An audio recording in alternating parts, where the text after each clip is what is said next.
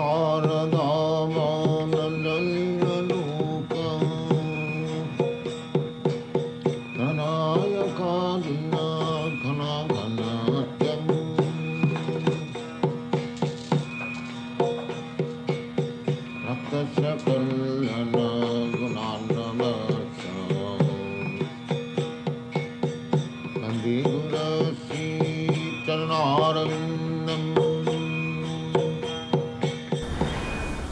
Хари Кришна, меня зовут Абхиманю Дас, я являюсь попечителем Бхактивиданта Буктраста, созданного Бхактивиданта и с вами Шилы Прабхупадой в 1972 году в Лос-Анджелесе.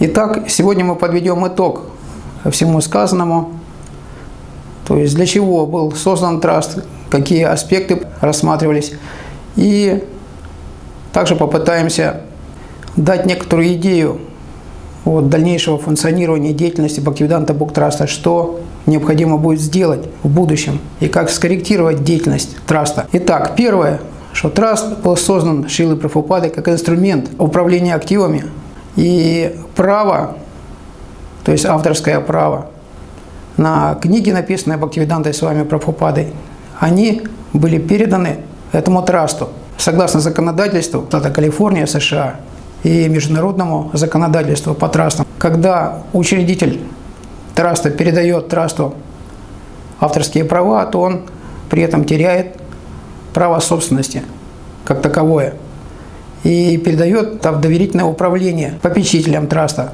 или в совокупности трасту всему. Второе. Траст не является юридическим лицом. То есть это не какая-то организация, не какая-то корпорация, не фирма, не общество с ограниченной ответственностью, не индивидуальное частное предприятие. Траст – это просто соглашение между тремя субъектами взаимоотношений правовых. Поэтому траст как таковой, и еще раз повторяю, не является юридическим лицом.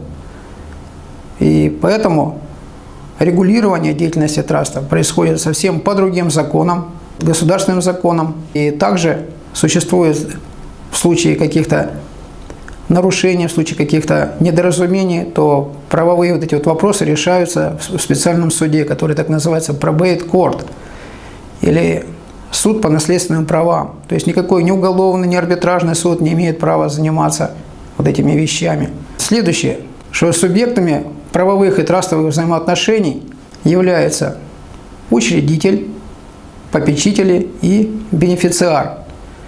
То есть все вот эти вот субъекты – это так называемые составные части траста. То есть учредитель – это единственный, как положено в трасте, им является Бхактивиданта с вами Шила Прабхупада. Вот учредители, не могут быть их много, в трасте всегда один единственный учредитель. Если взять, например, юридическое лицо или корпорацию, то там может быть много учредителей или собственников. Здесь один единственный собственник, и фактически он передает вместе с созданием права, передает право собственности самому трасту. И таким образом контролирует свои активы с помощью этого траста. И вся ответственность лежит целиком и полностью на попечителях.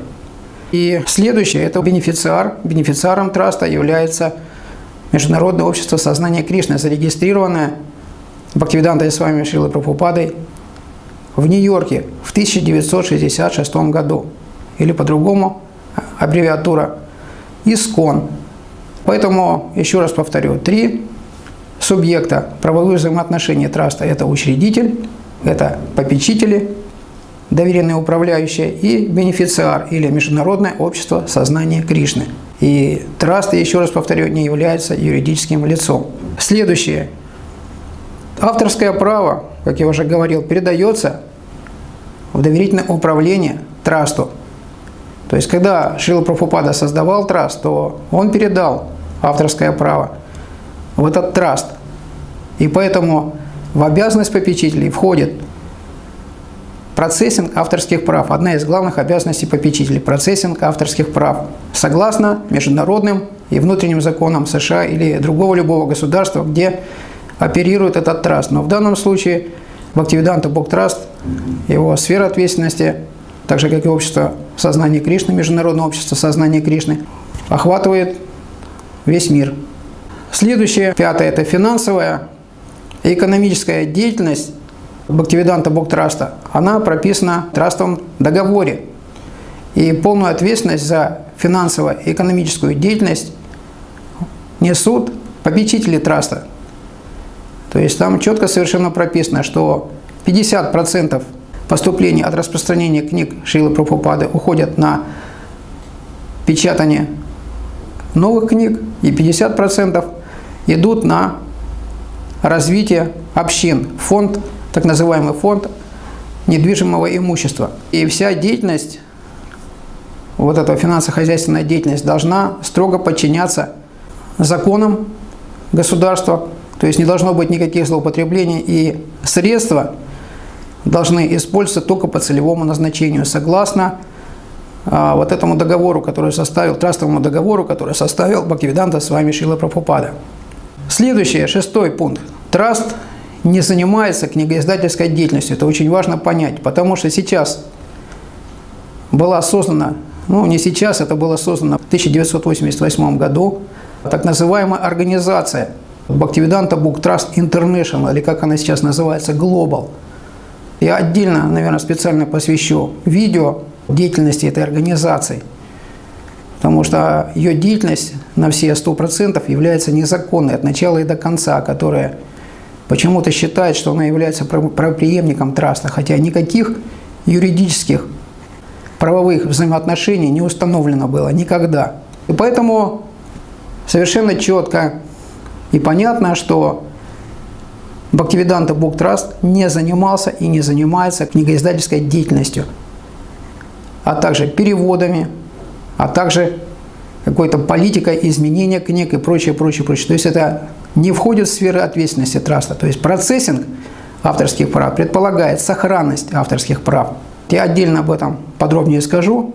То есть Бхактивиданта Бог Траст, он не занимается и не несет никакой ответственности за создание книг. Он может только контролировать, чтобы авторские права были использованы согласно тому, как это положено быть.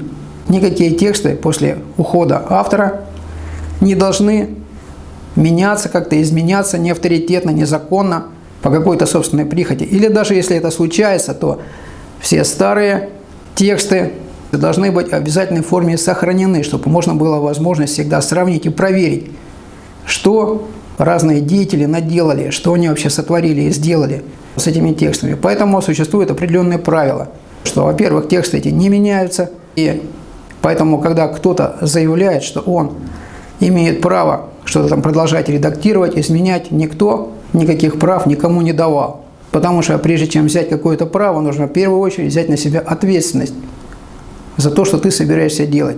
И последний очень важный элемент, вот, который, может быть, остудит многие головы, так как итоговый такой вот вывод – это то, что траст является соглашением или доверительным соглашением и предполагает взятие ответственности. И такая ответственность, она должна оформляться в письменном виде, в строго установленной юридической форме. Я объясню, насколько это важный момент, потому что Шрила Прабхупада упоминал неоднократно что если, например, человек несет ответственность только за себя, к примеру, он получает инициацию, вот в то же время, как у Прабхупады кто-то получал инициацию, то тогда достаточно будет ему дать просто клятву, то он обязуется соблюдать какие-то правила, принципы, то есть нести какую-то ответственность за свою личную, персональную духовную жизнь. Но если эта ответственность выходит за рамки одного лица, то есть в это вовлечены какие-то большие ресурсы, как то людские ресурсы, финансовые ресурсы и что-то другое, то такая повышенная ответственность в обязательном порядке должна оформляться в письменном виде. И поэтому, если мы видим, что таких документов нет, они отсутствуют, что кто-то объявляет, что он является попечителем, или кто-то объявляет, что он является редактором, или кем-то там еще, кем-то должностным лицом, или выступает от имени BBT, то такие действия необходимо рассматривать как прямое мошенничество, потому что когда человек не берет на себя ответственность, и эта ответственность не закреплена в письменном виде, то есть когда человек принимает на себя какие-то обязанности, это означает, что он должен взять на себя ответственность и закрепить эту ответственность в письменном виде. Либо какой-то клятвы, присяги, либо подписывается какой-то приказ, если это организация. Но в данном случае я уже говорил, что есть очень важный документ, когда назначается, например, попечитель, потому что попечитель это является доверительным управляющим траста. И раз он является таковым, то значит он должен взять на себя полную ответственность в плане финансов, в плане мониторинга или процессинга авторских прав. И все его действия, они не только контролируются другими лицами, ответственными за это, другими попечителями, например, или тем же самым бенефициаром. Но если что-то делается не так, то тогда этот документ может быть основанием для того, чтобы возбудить уголовное дело. Например, я, когда изучал документы в Департаменте юстиции города Нью-Йорка, то я обнаружил там очень интересный документ, датированный 1975 годом, в котором это так называемый афидевит или присяга так называемая. Когда был куплен вот этот храм на Манхэттене, то все должностные лица, которые отвечают за храм, не какой-то там имперсональный или какой-то расплывчатый комитет или какая-то комиссия, или как это называется там по-другому. Это делается следующим образом. Существует юридически ответственное лицо, оно закреплено в уставе, это, например, там президент или председатель общины, председатель совета общины, правильно так назвать можно. И также существует секретарь и казначей. Все они подписывались во времена Шрил Прабхупада, вот есть такой документ, и этот документ существует, реально существует, в котором написано, что если мы нарушим свою клятву, то есть будем разбазаривать имущество, которое принадлежит общине, вовлекать общину в какие-то долговые обязательства, незаконно, незаконно собирать пожертвования, то такие действия необходимо рассматривать как действия криминального характера. И против нас может быть возбуждено уголовное дело. То есть настолько это было все серьезно.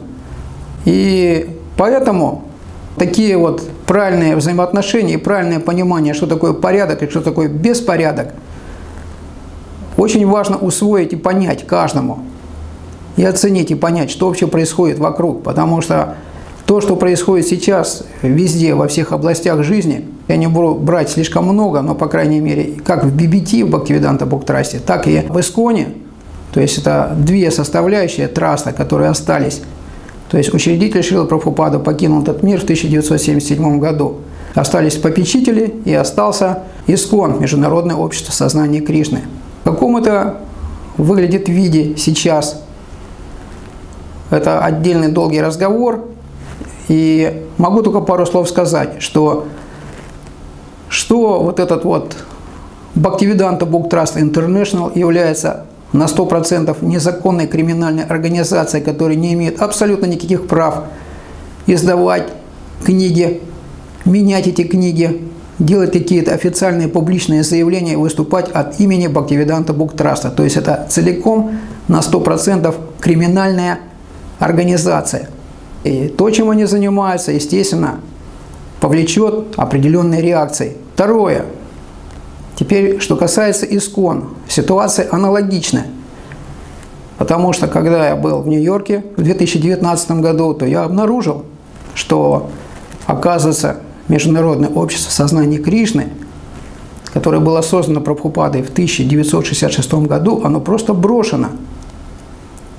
Брошено. И оно, начиная с 80-х годов, никто не подает никаких отчетов. Хотя это положено в любой стране мира положено каждый год сдавать отчет о какой-то благотворительной деятельности, о финансах Министерства юстиции или в Департамент юстиции по месту регистрации. Так вот, это уже не делается с 80-х годов. Как я узнал впоследствии, в 1993 году была зарегистрирована какая-то весьма странная организация, которая называется GBC Искон Западная Бенгалия. И вот эта организация тоже на все 100% является криминальной организацией, несмотря на то, что люди эти изображают из себя каких-то авторитетов. Давайте мы остановимся и посмотрим, что за авторитеты. эти люди. Потому что, во-первых, когда ты являешься учеником, как ты считаешь, учеником Шилы Прабхупады, даже не будем брать какие-то серьезные, важные, ответственные моменты лидерства вот этих вот организациях, о которых я сейчас сказал, это означает, вот это само слово disciple, оно сугубо специфическое слово. То есть это не просто какой-то ученик. Если мы обратимся в толковые словари английские, это означает, что человек является верным продолжателем дела вот этого своего мастера.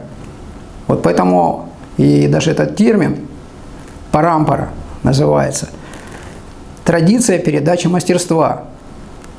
То есть мастер – это не просто учитель, это фактически лидер – то есть человек, который прокладывает дорогу, который постоянно сам находится в деле, в практическом, а не просто рассказывает какие-то теоретические идеи, выкладывает. И после его ухода, вот человек, любой человек, их может быть хоть 10, хоть 20, но, как правило, их немного, которые в действительности являются добросовестными, верными последователями, которые прониклись этой идеей, важности этой идеи, они являются продолжателями.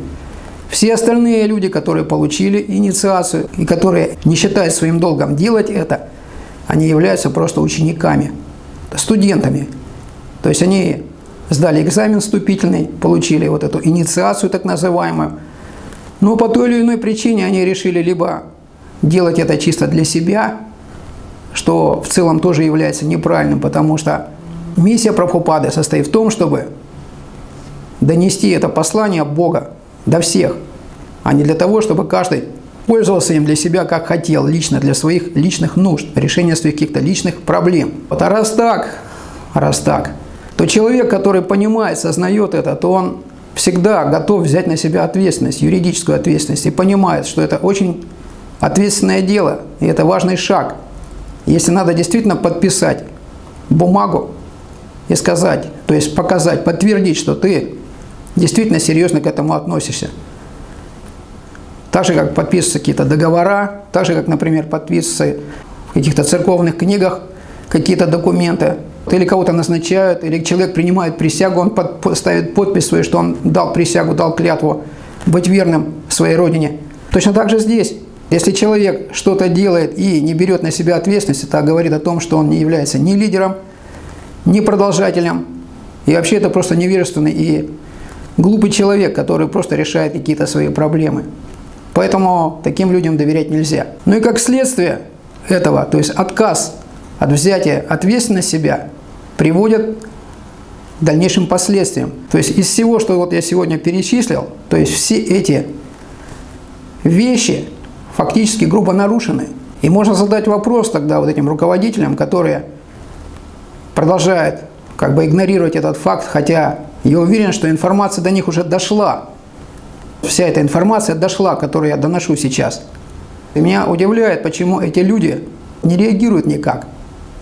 То есть тут только можно сделать два вывода. Либо первый вывод, эти люди либо бесконечно глупые, то есть они не понимают, чем они занимаются, либо они хотят дальше продолжать делать совершенно обратное от того, что сказал Шила Прабхупада. Вот. Ну, к примеру, возьмем вопрос, связанный с трастом, да, вот созданием самого траста, какова была идея. Я не случайно все это рассказывал для того, чтобы было понятно, в каком направлении нужно двигаться. И желание мое состоит не в том, чтобы устроить какую-то расправу, чтобы сделать какую-то пакость кому-то, а состоит в том, чтобы показать людям дорогу, то есть подсветить эту дорогу, поднять над ней вот этот факел знания и показать, что идти нужно в этом направлении. И восстанавливать все нужно в этом направлении. И тогда действительно будет успех. Вот потому что так было завещено, поэтому так надо делать. Надо брать на себя ответственность и идти туда, делать так, как тебе сказали, а не делать все по своей прихоти. Тем более, прикрываясь грубыми махинациями криминального характера. Поэтому идеи были вот таковы, я еще раз их повторю, что Прабхупада передал авторское право трасту. Юридически это закреплено. И поэтому кто может предъявить претензию к трасту? Только бенефициар. А именно Международное общество сознания Кришны зарегистрированная в 1966 году в Нью-Йорке, и больше никто, потому что так прописано в трастовом договоре. И причем я напомню, что траст является irrevocable, или безотзывный. А раз траст безотзывный, то это означает, что никто не может поменять. Как некоторые пытаются сказать, что какой-то искон Калифорния или какой-то искон Лос-Анджелес или кто-то еще стал правоприемник, или еще глупее. Идею не найдешь, что какой-то GBC Западная Бенгалия стала бенефициаром BBT. Да и какого BBT? То есть мне это совершенно непонятно, да, и непонятно отношение вот этих вот так называемых руководителей. То есть либо они, еще раз повторю, бесконечно глупые люди, которые не понимают последствий, то есть это значит безответственные люди. Либо второе, это мошенники, опять-таки безответственные люди, которые не взяли и не хотят брать на себя ответственность, но при этом они хотят быть собственниками, хотят контролировать. Контролировать то, что им фактически никогда не принадлежало, не принадлежит. Поэтому путь выхода из этой ситуации пролегает в том, чтобы хорошенько разобраться. Но, в принципе, картина, картина для попечителей. Я не единственный попечитель, чтобы остудить некоторые горячие головы, которые вдруг захотят оказать какое-то воздействие. Это будет совершенно неразумно. Пришли к такому выводу, что необходимо все восстановить так, как оно должно быть. То есть в соответствии с вот этими указаниями Шилы Прабхупады, в соответствии с трастовым договором, что там написано, в соответствии с законами штата Калифорния, международными законами, привести все в соответствие. И тогда будет понятно, что делать дальше. Потому что нет необходимости придумать что-то свое. И тем более, это, это как-то Прабхупада говорит, по-ослиному глупо считать, что ты умнее Кришны, умнее Шилы Вьясадевы, и я еще добавлю от себя умнее Шилы Прабхупады. Что ты можешь добавить что-то такого, что Прабхупада забыл сказать или сделать. Вот, поэтому не нужно, как говорится, играть в такие игры и пытаться обманывать. В первую очередь такие люди обманывают сами себя.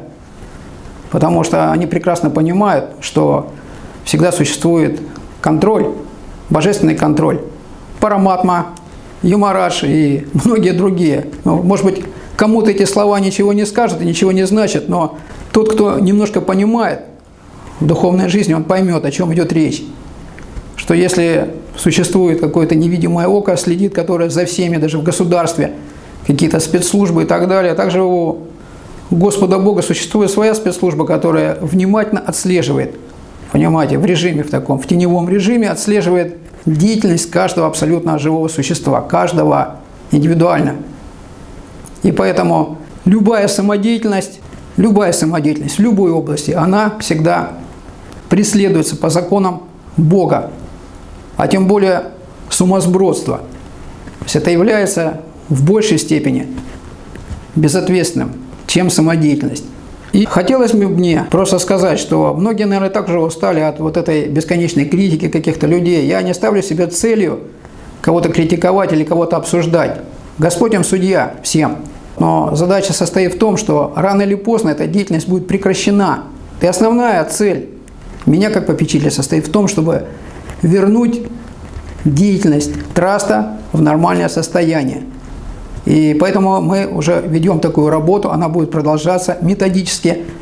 И если кто-то будет помогать в этом, ну, к примеру, сейчас необходимо сохранить все изначальные тексты Шилы Прабхупады. Это очень важно, потому что здесь заложены инструкции – как себя вести, что делать, что не делать. И фактически это является практическим руководством, руководством к действию. Поэтому, если кто-то пожелает поучаствовать в этом, пожалуйста, милости просим. То есть мы не призываем людей подниматься на священную войну, кого-то сокрушать, кого-то отбирать там какую-то недвижимость, какие-то наворованные деньги. Это будет бесконечно глупо это делать. Потому что в первую очередь нужно сейчас восстановить то, что дали, и не тратить свою энергию на какие-то пустые материальные дела, материальные войны, политику и так далее. Если мы будем поставлены в такую ситуацию, если кто-то попытается, значит, а Кришна организовал такую ситуацию, что пришлось с этим иметь дело. Но никто, опять-таки говорю, что если Господь хочет, чтобы так случилось, значит, это наша обязанность и наша ответственность принять это или не принять. Будем в этом участвовать или не будем в этом участвовать. Кто хочет участвовать в разрушительных процессах, уводить людей в сторону, обманывать и все остальное, ну, Господь им судья тогда, пусть продолжает. И те, кто поддержит таких людей, они тоже нашли свое счастье в этом, и пусть будут счастливы с такими лидерами.